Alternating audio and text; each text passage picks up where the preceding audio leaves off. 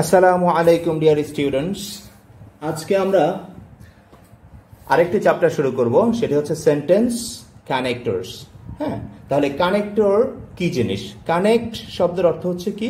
সম্পর্কিত করা বা যুক্ত করা। তাহলে সেন্টেন্স কানেক্টরস নিশ্চয়ই কি করবে? সেন্টেন্সকে কানেক্ট করবে বা যুক্ত করবে খুব স্বাভাবিক। তাহলে দেখো কি লেখা আছে কানেক্টর কি? কানেক্টর হচ্ছে এমন কিছু শব্দ যা দুইটি সেন্টেন্স বা দুইটি আইডিয়াকে যুক্ত করে। দুইটা সেন্টেন্স এক একটা সেন্টেন্সে স্বাভাবিকভাবে এক একটা আইডিয়া থাকে, আর কানেক্টর কি করে? সেই সেন্টেন্স বা আইডিয়াগুলোকে যুক্ত করে। যেমন মোর ওভার অ্যাকচুয়ালি সো এই শব্দগুলো হচ্ছে কিসের উদাহরণ?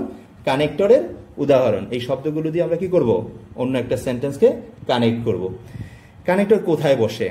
একটা বাক্য যখন শেষ হয়ে যায়, শেষ হওয়ার পর, পরের বাক্যের শুরুতে বসে। আমরা একটা বাক্য যখন শেষ করি, শেষ করার পর কি বসাই ফুল স্টপ বসাই এই ফুল স্টপ বসানোর পরে আরেকটা বাক্য যখন শুরু করব, তার আগে আমরা কানেক্টর বসাবো এবং কানেক্টরের পরে সাধারণত একটা কমা বসে। একটা এক্সাম্পল খেয়াল করো। You are late full stop however you can join the class তুমি লেট করে ফেলেছ।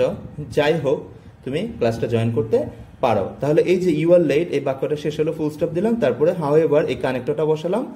তারপর আমি এটা কমা বসালাম। তারপরে পরে বাক্যটা লিখলাম। এভাবে আমরা এই হাউ শব্দটা দিয়ে এই দুইটা সেন্টেন্সকে কানেক্ট করলাম। আচ্ছা এবার আসো যে কানেক্টর আসলে আমরা কেন পড়ব মূল উদ্দেশ্য আসলে আমরা তো পরীক্ষায় আনসার করতে হবে এই জন্য পড়তে হবে, পরীক্ষায় মার্কস পেতে হবে। তারপরে কানেক্টরের বাস্তবতা কি? হুম, বাস্তব আসলে ব্যবহারটা কি? এক নম্বর বলা হচ্ছে বাক্যের পারস্পরিক সঙ্গতি রক্ষা করার জন্য কানেক্টর প্রয়োজন হয়। অর্থাৎ বাক্যগুলোর পারস্পরিক যে সঙ্গতি একটার সাথে একটা সঙ্গতি রক্ষা করার জন্য কানেক্টর দরকার হয়। তারপরে লেখা অথবা প্যাসেজের মধ্যে ধারাবাহিকতা অথবা সাবলীলতা রক্ষার জন্য। কানেক্টর যদি আমরা আসলে বাক্যের ভিতরে ব্যবহার না করি, তাহলে লেখার ভিতরে বা একটা প্যাসেজ বা একটা অ্যাসের ভিতরে কি ধারাবাহিকতা কি থাকে না? ঠিক থাকে না বা সাবলীলতা রক্ষা হয় না। ঠিক আছে? তারপর তিন নম্বর খেয়াল করো কানেক্টর না থাকলে লেখাগুলো খাপ ছাড়া হয়ে যায়। মানে কেমন যেন বিচ্ছিন্ন হয়ে যায়, একটার সাথে একটা সম্পর্কযুক্ত থাকে না। আরেকটা বিশেষ ব্যাপার হচ্ছে, আইএলস এর রাইটিং পার্টকে স্মার্ট করার জন্য, আইএলস এ তোমরা জানো চারটা পার্ট তার ভিতরে রাইটিং একটা। তো আইএলস এর রাইটিং কিন্তু এটাকে বেশ গুরুত্ব দেওয়া হয় এবং ব্যান্ড স্কোর বাড়ানোর জন্য। তার মানে রাইটিং পার্টে তুমি যখন কানেক্টর ইউজ করবে, তোমার লেখাটা অনেক স্মার্ট হবে এবং কি হবে? তোমার ব্যান্ড স্কোর বেড়ে যাবে। যদি তোমরা আইএলটিএস পরীক্ষা দাও আর কি। আচ্ছা এরপরে দেখো, পরীক্ষায় কি শুধু কানেক্টর থাকে? আসলে আমাদের সিলেবাসে শুধু কানেক্টরই লেখা আছে। কিন্তু ঘটনা হচ্ছে আসলে শুধু কানেক্টর লেখা থাকলেও বোর্ড পরীক্ষায় বা বোর্ড কোয়েশ্চেনে দেখা যায় যে শুধু কানেক্টর না আরও কিছু অপশন থাকে যেগুলোর ক্ষেত্রে আসলে লিঙ্কার্স ব্যবহার করতে হয়। তাহলে যদিও শুধু কানেক্টর বলা থাকে, কিন্তু বোর্ড এক্সামে কি থাকে? কি আসে? লিঙ্কার্সে চলে আসে, ঠিক আছে? আসি আমরা পরের আলোচনায়। এবার দেখো কানেক্টরস এবং লিঙ্কার্স তোমরা এই মাত্র জানলে যে লিঙ্কার্সে ব্যবহৃত হয়, ব্যবহার করতে হয়। এখন কানেক্টরস এবং লিঙ্কার্সের পার্থক্য কি? তো বেসিক কিছু পার্থক্য আছে, আমি মাত্র দুইটা আলোচনা করব, সবচেয়ে ইম্পর্টেন্ট যে দুটা প্রথমত কানেক্টর হচ্ছে দুইটা সেন্টেন্সের মাঝে বসে।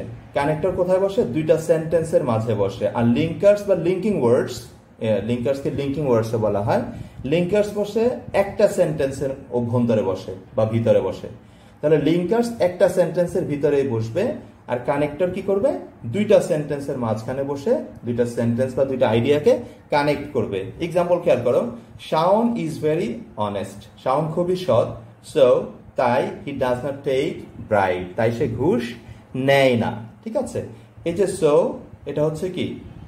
কানেক্টর দুইটা সেন্টেন্সকে কানেক্ট করল। এখানে কিন্তু বাক্য দুইটা আলাদা, এখানে ফুল স্টেপ দিয়ে একটা বাক্য শেষ হয়েছে। আর লিঙ্কার্সের ক্ষেত্রে খেয়াল করো হি অ্যাটেন্ডেড দ্য ক্লাস দো হি ওয়াজ সিক সে ক্লাসটা অ্যাটেন্ড করেছিল, যদিও সে কি ছিল? অসুস্থ ছিল। এই যে দো মানে হচ্ছে কি, যদিও। এই যদিও কিন্তু একটা বাক্যের ভিতরে, এখানে কিন্তু পুরাটা একটাই বাক্য ফুল স্টপ একটা মানে হচ্ছে এখানে একটা বাক্য। সো যে দো বসল, এটা হচ্ছে কি? একটা সেন্টেন্সের ভিতরেই বসল, আর এটা হচ্ছে একটা লিঙ্কার ঠিক আছে? দ্বিতীয় উদাহরণ খেয়াল করো।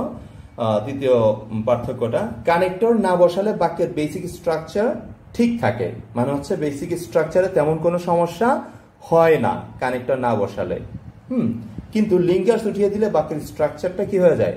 নষ্ট হয়ে যায়। একটু খেয়াল করো হি ইজ আ গুড বয় সে একটা ভালো ছেলে। বিসাইডস তাছাড়া হি ক্যান প্লে ওয়েল সে ভালো খেলতেও পারে। ঠিক আছে? এখানে খেয়াল করো বিসাইডস যদি নাও লিখি হয়তো একটু সৌন্দর্য কমে যায়, কিন্তু বাক্যের স্ট্রাকচারটা কি হবে না? নষ্ট হবে না।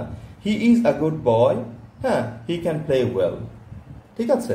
বাক্যের বেসিক স্ট্রাকচারটা নষ্ট হচ্ছে না। আমি যদি বিসাইডস উঠিয়ে দিই, তাহলে কানেক্টর উঠিয়ে দিলে বাক্যের স্ট্রাকচার নষ্ট হয়ে যাবে না। কিন্তু লিঙ্কার্স এর ক্ষেত্রে খেয়াল করো I will not help you unless you come here আমি তোমাকে সাহায্য করব না, যদি না আনলেস মানে হচ্ছে কি, যদি না। যদি না তুমি এখানে আসো, তাহলে যদি তুমি এখানে না আসো, তাহলে আমি তোমাকে সাহায্য করব না। এখানে আনলেস উঠিয়ে দিলে কিন্তু এই বাক্যটার মিনিংফুল হবে না। I will not help you you come here এটা আর মিনিংফুল হচ্ছে না। তার মানে হচ্ছে কি? বাক্যের বেসিক স্ট্রাকচারটা নষ্ট হয়ে যাচ্ছে। আচ্ছা এরপরে খেয়াল করো, আমরা কিছু কানেক্টরের এক্সাম্পল দিব এবং কিছু লিঙ্কার্সেরও এক্সাম্পল দিব। ঠিক আছে? এরপর আমরা আরও বিস্তারিত ডিটেলস আলোচনা করব ইনশাল্লাহ আজকের ক্লাসটা হচ্ছে আমাদের মূলত বেসিক আলোচনা, ঠিক আছে? দেখো examples of connectors number one I gave the boy some books and pens আমি ছেলেটাকে কিছু কলম এবং কিছু বই দিয়েছিলাম। বিসাইডস তাছাড়া আই গেভ হিম সাম মানে আমি তাকে কিছু টাকাও দিয়েছিলাম। তাহলে যে বিসাইডস হচ্ছে আমার এখানে কানেক্টর এরপর একটা কমা দিলাম। প্রথম বাক্যের ফুল স্টপের শেষে। ঠিক আছে? এরপর দেখো he is a good student হ্যাঁ সেটা ভালো ছাত্র yet he does not obey rules তথাপিও সে কি করে না? নিয়ম মেনে চলে না। ঠিক আছে? তাহলে ইয়েরটা এখানে কি? কানেক্টর এরপর খেয়াল করো তিন নম্বর the man has many problems লোকটির অনেক সমস্যা রয়েছে। Actually he is a criminal আসলে সে একজন ক্রিমিনাল হুম, তার অনেক ধরনের চারিত্রিক সমস্যা রয়েছে। ওকে তাহলে এই অ্যাকচুয়ালি শব্দটা এখানে কি? কানেক্টর এরপর দেখো হি ওয়াজ সিক সে অসুস্থ ছিল সো তাই he did not come here সেখানে আসেনি। যে সোটা এখানে কি? কানেক্টর ইট লাস্ট এক্সাম্পল খেয়াল করে কানেক্টরের we try to help the poor people আমরা চেষ্টা করি গরিব লোকজনদেরকে সাহায্য করতে। সিমিলারলি একইভাবে, অনুরূপভাবে our neighbours neighbours also try to support them আমাদের প্রতিবেশীরাও তাদেরকে সহায়তা করার চেষ্টা করে। এখানে সিমিলারলি কি? একটা কানেক্টর এরপর আমরা চলে যাচ্ছি কিছু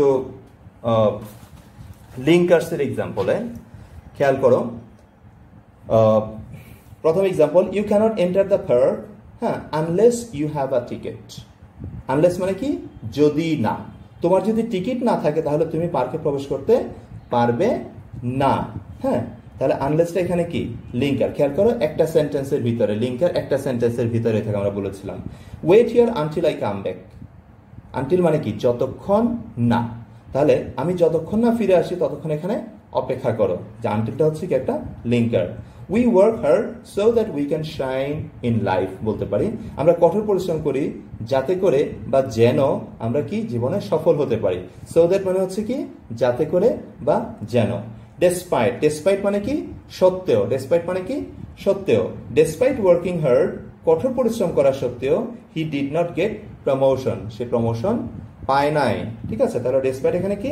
একটা লিঙ্কার আচ্ছা he always tries to help the poor people though he is not rich সে সবসময় চেষ্টা করে গরিব লোকজনদেরকে সাহায্য করতে, যদিও সে কি না? ধনী না। তো এ হচ্ছে আমাদের আজকের আলোচনা। আমরা ইনশাল্লাহ লিঙ্কার্স নিয়ে সামনে আরও আলোচনা করব ইনশাল্লাহ তো টিল দেন আল্লাহ হাফিজ। আসসালামু আলাইকুম রহমতুল্লাহ।